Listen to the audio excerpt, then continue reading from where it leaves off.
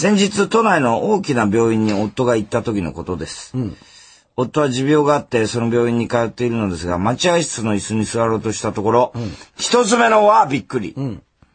お年寄りからちびっこまでが知っている超有名人がいたのです。ほうほうほうほう。田中さん、え？誰だいや、と思う？それだけじゃわかんないな。誰だろうな。えー、っとね、えー、ちびっこ、お年寄りからちびっこまでみんなが知ってる有名人。えー、っとね、桜井翔くん。ああ、じゃあね。違う。そうです、なんと、んあの、長寿番組の司会者、桂歌丸さんがいたのです。ええー、歌丸さんか。はいは病院の待合い。室。まあね。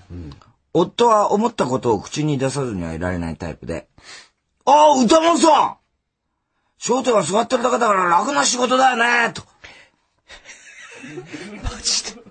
え、言ったの？失礼な声のかけ方をしたのですが、いや、すげえ。歌丸さんはテレビと同じく穏やかな感じで、あの仕事も楽じゃねえんだよ。もう泣きそうだよ、俺。俺もう、本当に。なんちゅうこと言うんだってことだよね。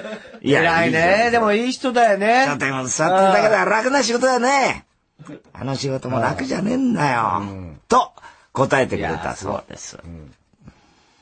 夫が握手を求めると優しく 握り返してくれましうんた。しかしそこで二度目のはびっくり。うん田中さん何が起こったと思いますか？え、意外に、ギャー怒ってたんだ、この人みたいな。超 違う。違うの。なんと、うん。歌丸さんのお付きの男性二人が、師匠が危ないと思ったのか、いきなり夫を突き飛ばしたの。どういうこと？どういうこと？握手してる時に？そう。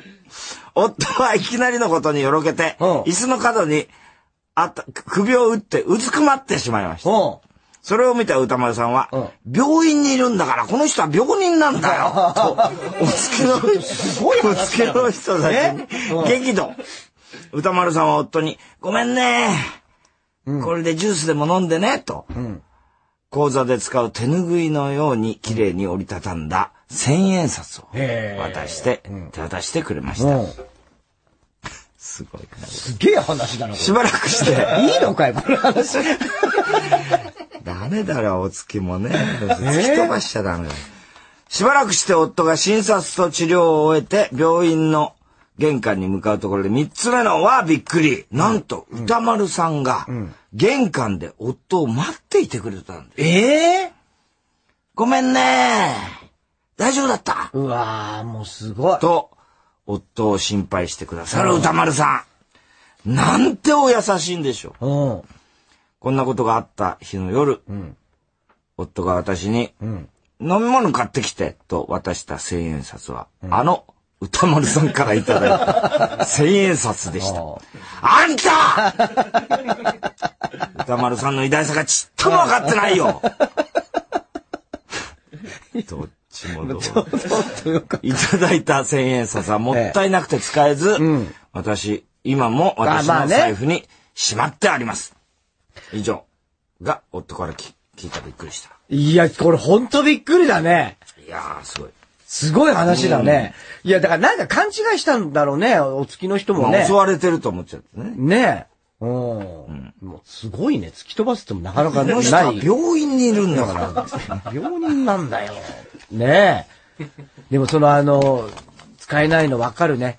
俺もたけいしさんから。やー、そりゃそうですよ。ねあの、お年玉ね。うん、お年玉もらったのとか、うんずっと財布に入れっぱなしですずっとカバンによ。入れてますよ。そってない。ああいうのは使うもんじゃないですからねああいう大入り袋とかああいうのはそうそうそう。